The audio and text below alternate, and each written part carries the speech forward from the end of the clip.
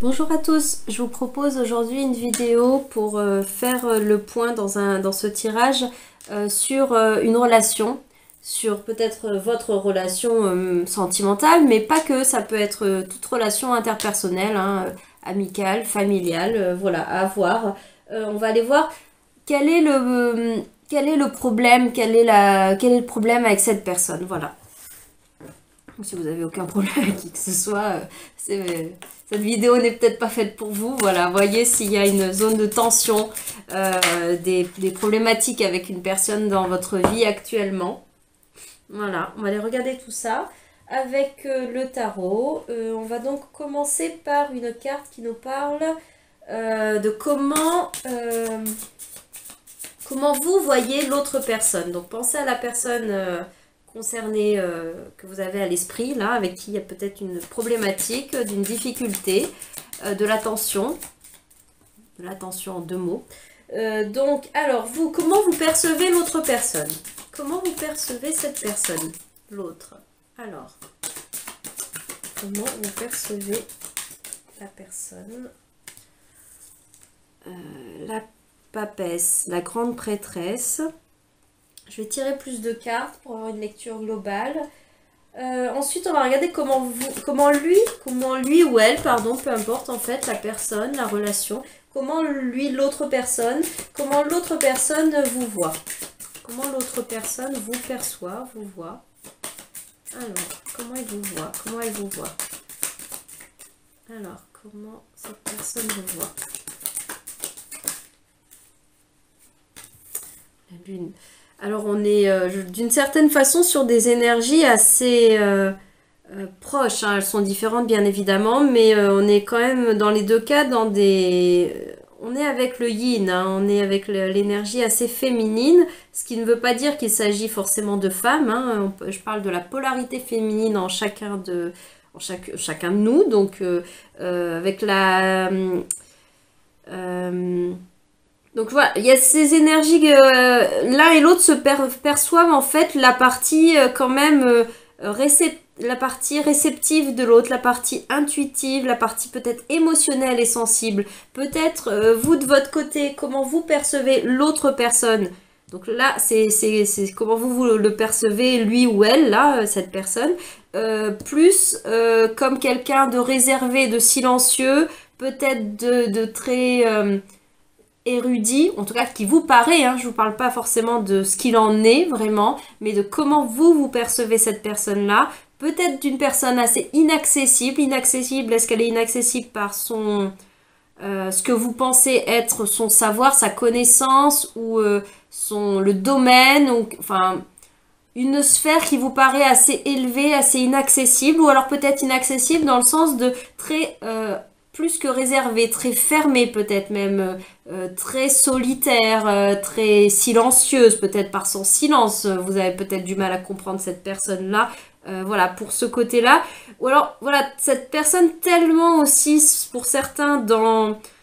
Avec la, grande prêtresse, la papesse, on est dans, très, dans une énergie très spirituelle, même ésotérique. On est dans, dans quelque chose de très mystérieux, mais mystérieux euh, voilà, qui s'intéresse au mystère de la vie, à ces enseignements, à ces approches-là, voire on pourrait, euh, pourrait considérer comme une personne un peu perchée, euh, voilà, dans ce genre-là, si on parle de, au niveau, d'un niveau plus spirituel, ou, ou aussi au niveau artistique, au niveau quelqu'un de, un grand poète ou une grande poète, poétesse, peu importe, enfin même si c'est dans l'esprit, je vous parle pas dans la forme d'écrire littéralement de la poésie, mais voilà, quelqu'un de très euh, peut-être insaisissable aussi euh, par certains côtés. Et là, comme euh, l'autre personne vous perçoit vous, on est avec la lune. Peut-être, même si je vous l'ai dit, le côté commun c'est le côté yin, le côté féminin, mais elle vous voit comme une personne peut-être très changeante. Avec la lune, on est sur le principe du cycle. C'est un cycle assez court, donc des choses qui peuvent varier assez vite. Là, on a quelque chose de, plus inaccessible. C'est pas à dire si c'est euh, figé ou mobile, mais là, euh, il y a quelque chose euh, de très insaisissable dans le sens où ça change tout le temps en fait. Les deux sont insaisissables, mais peut-être différemment. Avec la lune, donc euh, comment euh, la personne vous voit vous, elle vous voit aussi peut-être, elle voit le côté très hypersensible, peut-être très très très émotif aussi, émotif et émotive, euh, peut-être à l'excès, hein, puisque là on parle d'une situation où il y a problématique, hein, donc je, prends le parti d'aller visiter, questionner ces cartes-là sous leur facette plus, plus, plus, plus qui, qui, complexifie, plus dysfonctionnelle, si on peut dire. Hein, elles sont pour, moi, pour moi en rien, en elles-mêmes, bien ou mal. C'est juste que ça, donne des zones de friction éventuellement, notamment dans le relationnel. Donc voilà, ce qui comment elle vous perçoit, la lune. Elle vous... En fait, dans les deux, il y a un côté caché. Hein. Dans les deux énergies. Alors si on parle de, de, relations euh, sentimentales, euh, peut-être qu'il s'agit d'une relation cachée par définition. Parce que là, dans les énergies des deux, on retrouve quelque chose... De, euh, d'inaccessible, de caché. Peut-être qu'avec la lune, il y a vraiment un mouvement de dissimuler, de cacher. Avec la papesse, il y a un mouvement de cacher dans le sens de euh, qui se passe loin du regard des gens. Enfin, vous pouvez trouver que ça veut dire la même chose, euh, mais la papesse est cachée. Ça peut être caché aussi, peut-être aussi les émotions qui sont cachées, les enfin ou même les pensées cachées par le silence en fait. Voilà. comment vous vous percevez l'autre? Euh, vous le percevez comme inaccessible ou la percevez, mais je vais pas tout le temps euh, jongler, vous comprenez bien que je parle de l'autre personne. Vous percevez cette personne-là comme, euh, comme inaccessible ou comme le côté caché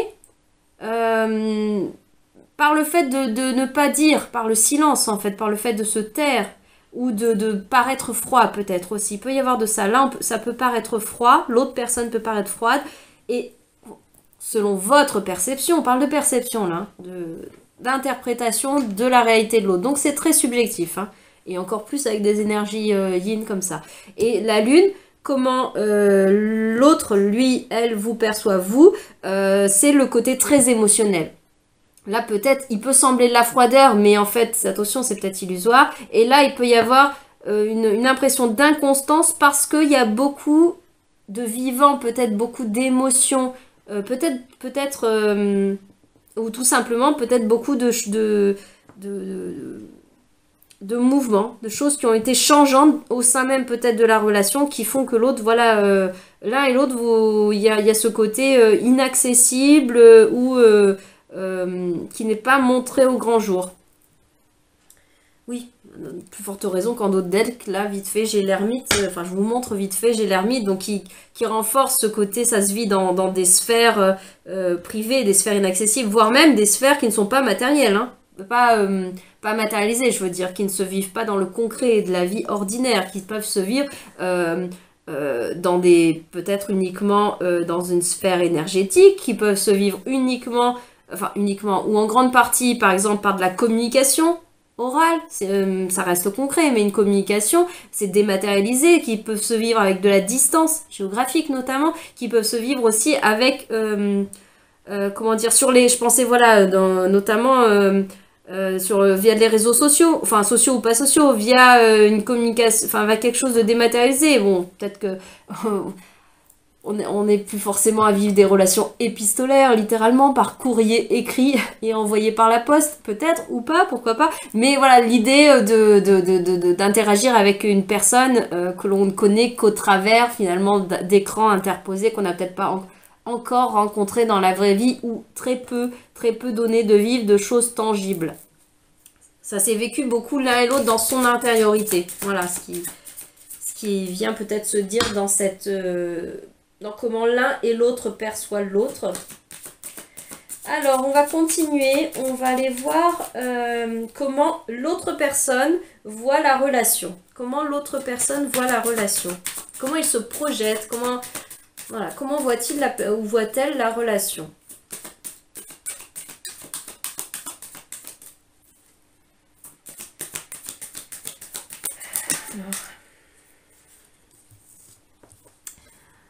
On a l'arcane sans nom, le symbole qui représente la mort symbolique, hein, les fins. En tout cas, des grands changements, des grandes transitions. Il voit peut-être la relation euh, comme, euh, alors à voir en quoi, si c'est trop ou, si c'est constructif, dans le sens de, de quelque chose de très tranché par rapport à peut-être ce qui constitue ou constituait sa vie présente, voire sa vie passée.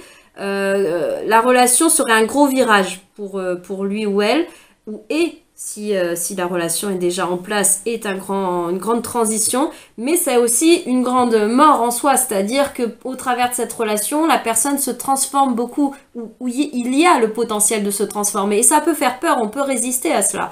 Euh, avec euh, comment il perçoit la relation, bah, comme la mort, donc en soi, la mort fait partie de la vie, mais ça peut complètement faire euh, peur. On, a, on, ne, on ne chemine pas euh, de gaieté de cœur vers, euh, vers la mort, même une mort symbolique, même une mort en soi. Et pourtant, le, la, chenille a à mourir pour devenir papillon. le temps de chrysalide est, un, incontournable, un, indispensable euh, mais bon, en effet, euh, l'idée de se liquéfier dans la, dans la chrysalide n'est pas réjouissante. Donc le mental peut avoir beaucoup de réticence à aller vers, en termes de ce que représente la relation, quelque chose qui vibre euh, une grande transformation personnelle, des grands virages, voire la mort de certaines choses, la mort de la vie d'avant, la mort de certains fonctionnements, peut-être des petites morts à l'intérieur de soi. Enfin voilà, tout ça. Donc c'est assez dense quand même, hein. c'est pas light hein, comme euh, énergie, comment l'autre voit la, vie. Après, de façon constructive, positive, comment l'autre perçoit, il peut le voir comme, comme euh, l'opportunité justement de, du, grand changement dans sa vie. De la grande, c'est le phénix, il peut le voir comme la résurrection. Ça dépendra de où en est la personne, où en est la relation, euh, est-ce qu'on le vit dans le cœur de la problématique? En général, on voit pas le voit pas le côté phénix dans la grande problématique quand on vit l'émotionnel dur ou la grande absence. On vit euh, le manque, on vit le, fait qu'on quelque chose va mourir. Ça veut dire qu'on va perdre. Hein. Pour euh, toute renaissance, il y a une perte. Hein. On voit le côté oui, mais je vais perdre. mais on n'est pas en capacité de voir l'œuf qui éclot, de voir le papillon qui, qui, qui, est, qui se déploie. On voit seulement que la chenille, elle va devoir rentrer dans, euh, dans sa grotte, dans, sa chrysalide. Voilà. On va regarder de l'autre côté comment vous voyez la relation. Comment vous, percevez la relation pour vous. La relation. Hop là. La justice. La justice. Alors, la justice, vous pouvez voir. Enfin, de toute façon, on peut y voir les deux. Hein. Vous pouvez y voir dans la relation quelque chose euh, de d'équilibrer, ou en tout cas, même si elle ne l'est pas dans l'instant T, euh, vous pouvez cheminer vers ça. Voilà le chariot, vous pouvez avancer, vous pouvez sentir le potentiel de une relation équilibrée pour vous, que dans cette relation, cette relation vous amène un équilibrage, peut-être un équilibrage dans ce qui était peut-être excessif de dans le côté euh, insaisissable, euh, très mouvant, très, cyclique, très changeant, euh, voir aussi ce côté émotionnel. Peut-être que ça tempère votre émotionnalité, peut-être que ça vient équilibrer certaines parts de vous-même. Euh, en tout cas en potentiel, vous voyez ça comme ça, vous projetez ça. Peut-être qu'elle vous apporte, peut-être que la relation, s'il y a des choses qui sont vécues déjà dans cette relation-là, apporte déjà cette même matière, cette matière de transformation et cette matière d'équilibrage de part et d'autre. C'est pas seulement apporte ça à l'un et apporte ça à l'autre. Ça, comment l'un et l'autre l'aperçoivent. Ça n'est pas seulement perçu que depuis sa fenêtre. Hein. Ça, bénéficie au, notamment au minimum de personnes, une relation. Voilà, au minimum, ça bénéficie aux deux protagonistes de l'histoire. Ce que ça peut aussi représenter pour vous, dans une facette un peu plus euh, piquante, puisqu'on parle quand même d'une euh, situation où il y a problématique, représente quand même quelque chose d'injuste, d'inéquilibré.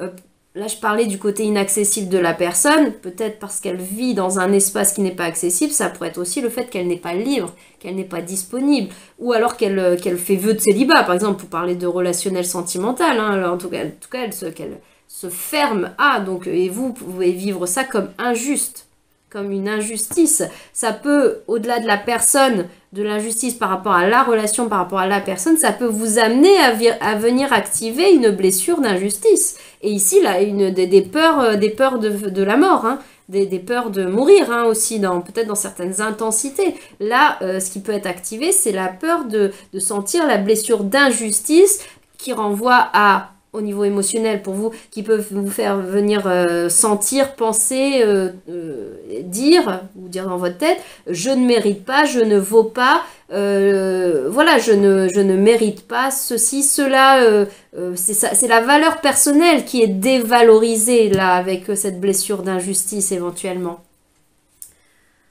Alors...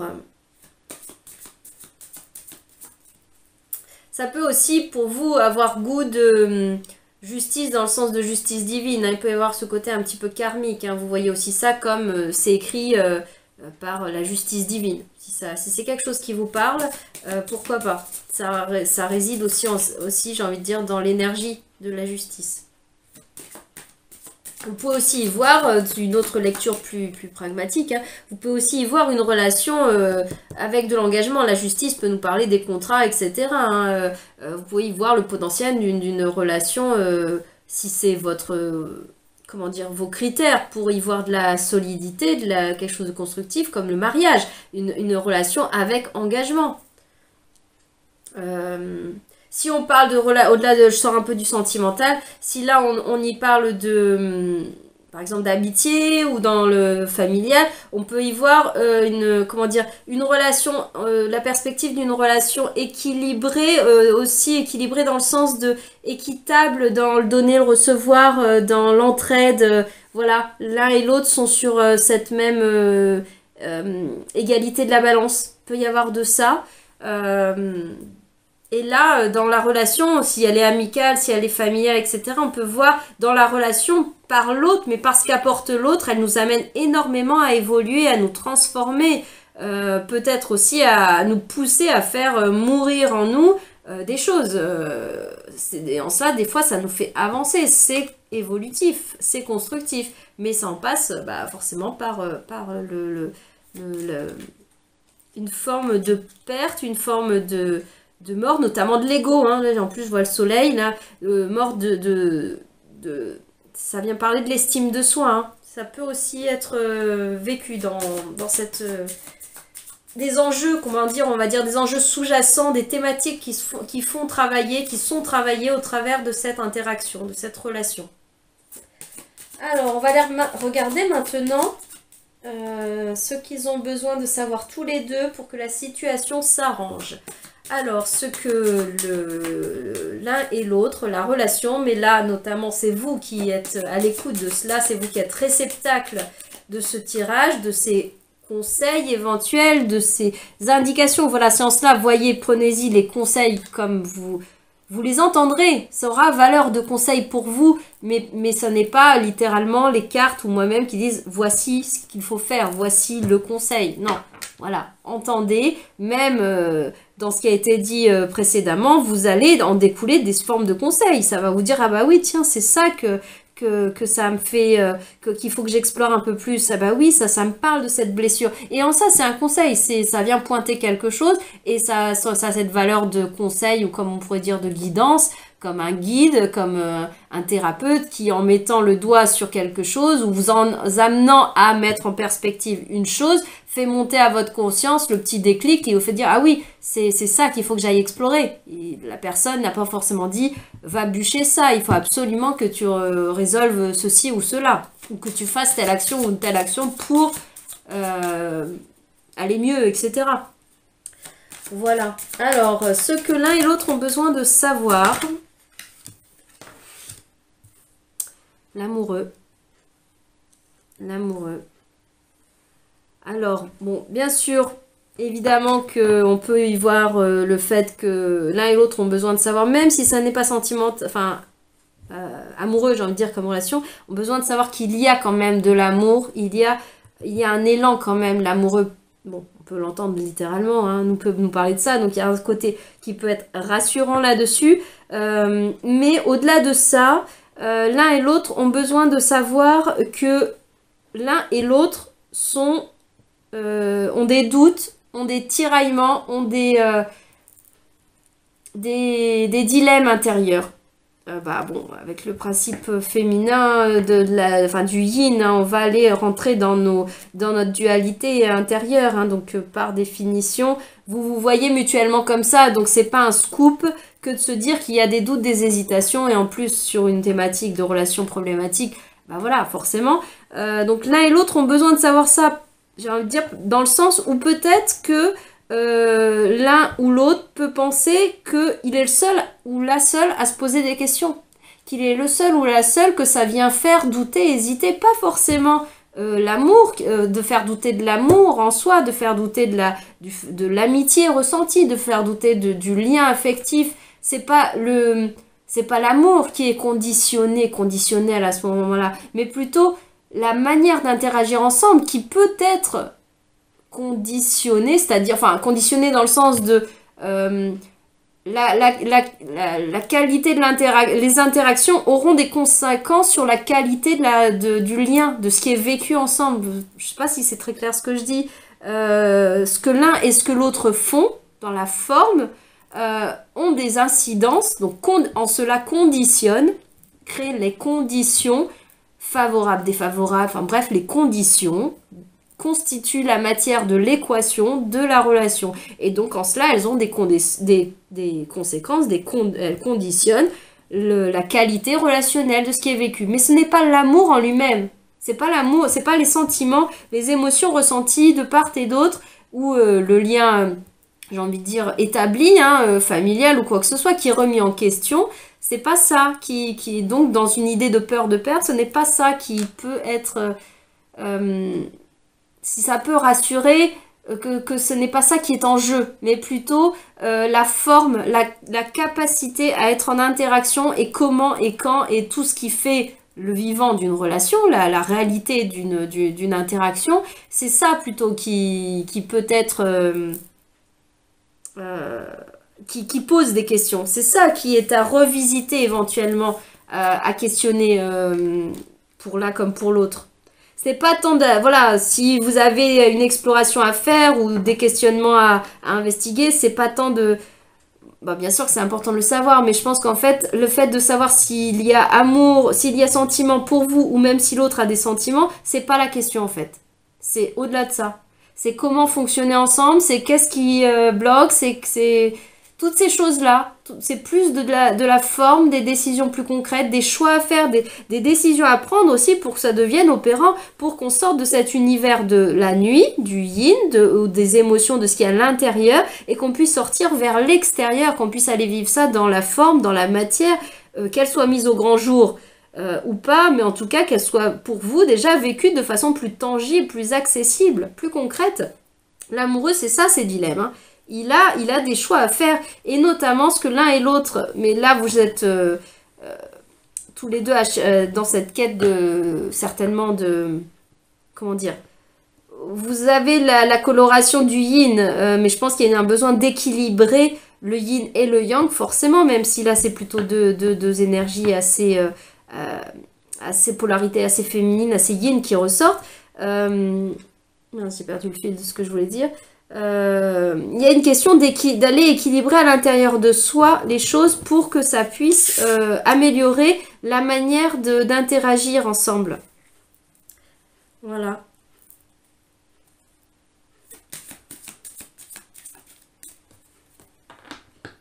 Et aussi l'amour de soi. C'est peut-être votre propre confiance en soi parce que je, revoyais le le soleil qui est en dos de deck à nouveau, euh, le plexus solaire pour l'un et pour l'autre, parce que là ça se vaut pour les deux, euh, la confiance en vous-même, euh, et au-delà de confiance, l'amour de vous, le respect de vous-même, qui peut, qui peut être peut-être bonifié, peaufiné, épuré de ce qui n'a plus de raison d'être, revalorisé, enfin bref, de façon de façon réelle, j'ai envie de dire, de façon euh, juste avec qui vous êtes, pas de façon artificielle, euh, coaching, euh, voilà, qui vous fait vous conditionner pour, pour être confiant. C'est, on parle pas de ce, de ce genre de confiance. Là, en plus, on est dans du, dans du relationnel, de l'émotionnel, même que ce soit familial, que ce soit amical, que ce soit sentimental. La question n'est pas de devenir, on n'est pas dans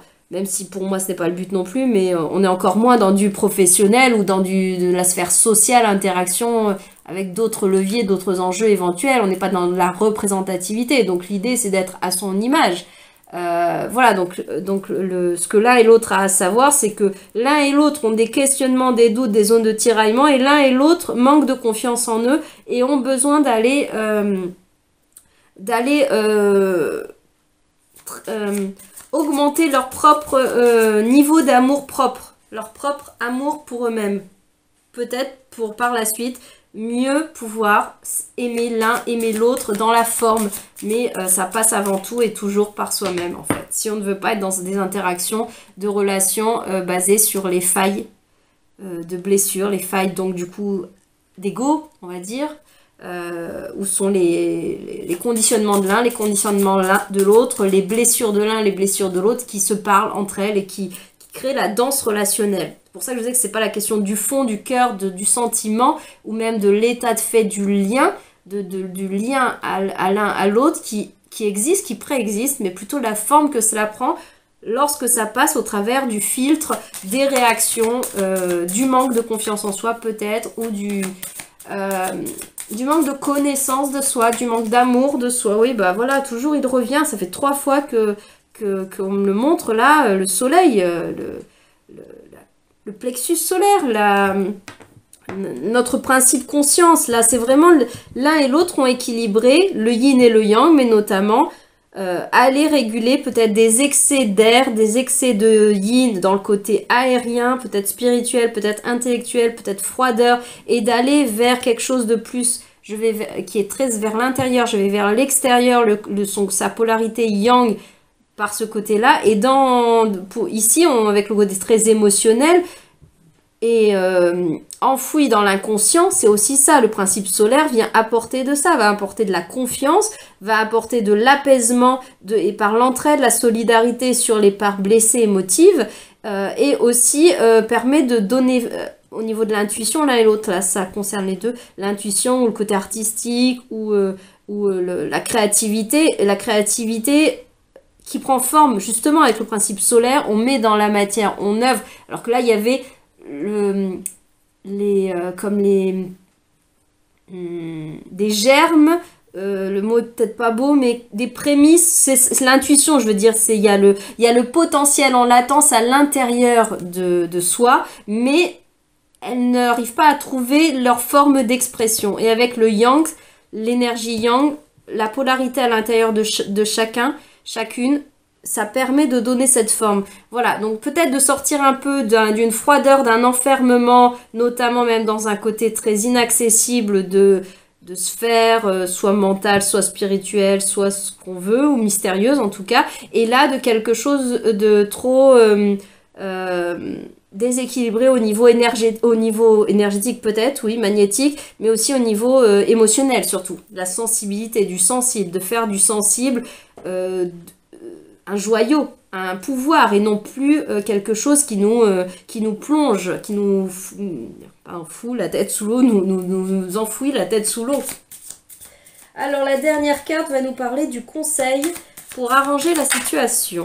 Hop, le conseil. Bah, c'est dit autrement, euh, dit autrement, mais on parle de ça parce qu'avec l'empereur c'est pas que l'empereur et le soleil c'est la même chose, pas du tout, mais euh, on nous parle tous les deux du principe yang, du principe euh, de la polarité masculine à l'intérieur de soi, c'est ce que je vous disais. Donc euh, les conseils, bah, c'est d'investiguer la, la, structure, peut-être pour peut-être là à, structurer ses idées, peut-être structurer ses élans de de fuite, de, de mouvement, euh, de besoin de liberté qui fait que insaisissable, et de l'autre côté, le mouvement euh, très émotionnel qui fait qu'il est insaisissable par son côté euh, impermanent et changeant, voire trop intense, trop en fait, peut-être trop. en structurant tout ça, en, s'apportant soi-même ce cadre, cette rigueur, sans être oppressive, mais c'est là qu'on va dans l'exploration constructive de, de, de sa polarité yang et ça bénéficiera à la relation, à l'un, à l'autre, et, en conséquent, euh, une fois, comme je vous disais, aussi au niveau de l'amour de soi, confiance en soi, respect de soi, en conséquence, ça aura ses conséquences sur la forme, la matérialisation que prendra, que prend la relation, l'entité, l'énergie relation, et non pas la question du fond de l'amour, mais la forme que prend tout ça. avec de la plus de structure, peut-être aussi de la structure du, du, de l'empereur qui permet, ça parlera euh, à l'un à l'autre, peut-être de l'un et l'autre peut-être de façon différente, euh, qui permet de, de couper avec certaines dépendances, certains euh, travers, travers il n'y pas de jugement quand je dis ce mot-là, travers, euh, travers euh, pour soi. Si on estime que ça, pour nous, c'est un de nos travers, et eh ben, c'est de le réguler. C'est pas que c'est un travers aux yeux de la société, aux yeux de un tel a dit que, aux yeux de la loi ou aux yeux de quoi que ce soit. C'est voilà, c'est de ça. Ça peut permettre de, réguler des tendances que l'on ne maîtrise pas. Voilà, ça, c'est un travers. Des excès que l'on a de ci et de là. Et ça pour tendre à, la guérison du yang aussi. Hein. Il y a le, les deux ont à être équilibrés d'une part, donc investiguer l'énergie yin, investiguer l'énergie yang, mais aussi, et c'est valable des deux côtés, enfin des deux côtés. Quand je dis des deux côtés, là je parle pas des à l'intérieur de chacun, chaque être de la relation et même plus largement. Mais quand je dis des deux côtés, là je parle des deux côtés en soi. On a à aller guérir, investiguer le yin, mais aussi le guérir, et on a à aller investiguer le yang et aussi le guérir. C'est pas qu'il y en a un qui, qui va bien et l'autre qui a à guérir. C'est pas qu'il y en a un qui est exponentiel et l'autre qui est complètement diminué. C'est les deux, c'est les quatre, c'est tout ça en même temps en fait. Euh, donc il y a une, une danse de rééquilibrage, de réajustement, euh, équilibrage dans le volume si on peut dire, et équilibrage dans la qualité et dans la sanité. C'est en ça qu'on peut dire de guérir. Voilà, quand ça a été, euh, quand c'est une matière blessée, il peut y avoir du volume de la matière, ça peut être très envahissant, très prédominant, euh, prépondérant, mais complètement dysfonctionnel, complètement, euh, en tout cas, qui ne vous, qui, qui, même à vous-même, sans même parler de la relation, qui ne vous apporte pas bénéfice, puisqu'elle vous envahit. voilà, donc à voir comment s'expriment chez vous les polarités. Il y a l'étoile derrière qui soutient qui montre le chemin, qui peut dire c'est par là aussi hein, que ça peut se passer. Euh, euh, aussi, euh, qui rappelle que vous pouvez être soutenu, vous pouvez être entouré si vous n'êtes pas forcément physiquement dans la forme, par de la famille, par des amis. Bon, bien sûr, si c'est le cas, tant mieux, mais là, même si ce n'est pas le cas, c'est aussi une manière de vous dire que vous êtes soutenu dans l'invisible, vous êtes soutenu dans ce que vous ne voyez pas, vous êtes soutenu dans le côté spirituel, énergétique, la vie vous soutient, l'univers vous soutient. Au-delà de dire soutient la relation, vous soutient vous individuellement pour votre travail, enfin votre cheminement personnel, travail dans le sens, je pensais au travail alchimique en fait, hein, alchimie intérieure. Euh, voilà, voilà pour ce tirage. Ouais, tempérance, oui, euh, bah, je vous souhaite une belle guérison hein, à tous, euh, avec de la sagesse derrière le, le pape, le hiérophante qui est derrière.